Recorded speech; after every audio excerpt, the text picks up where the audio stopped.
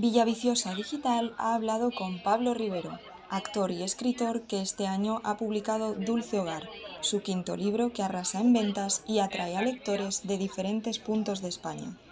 Muchos de ellos han querido acercarse a la Feria del Libro de Madrid para obtener un ejemplar firmado durante la última jornada del autor en el evento, celebrada el pasado 10 de junio. Pablo ha destacado lo especiales que son para él los encuentros con sus lectores, y en concreto los que tienen lugar en el mayor acto dedicado a los amantes de la lectura, que se celebra en su Madrid natal. También ha compartido, entre otras cosas, cuáles son sus referentes a la hora de crear sus propias historias, las sensaciones de cara a la ya anunciada última temporada de Cuéntame y su proyecto más reciente, el estreno de Citas Barcelona, una serie que se podrá ver desde hoy en TV3 y a partir de mañana en Prime Video.